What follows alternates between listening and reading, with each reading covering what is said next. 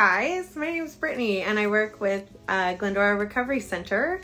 Um, I was thinking about surrendering and acceptance and how hard that is, especially in the beginning. Nobody wants to admit that they're an alcoholic and that they're powerless over this cunning, baffling, and powerful disease.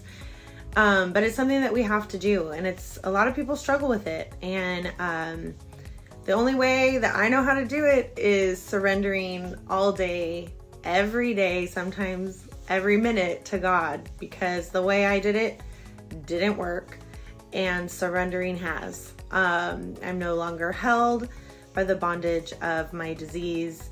Um, I continue to surrender every day, and I'm so thankful that I have because my life is truly blessed.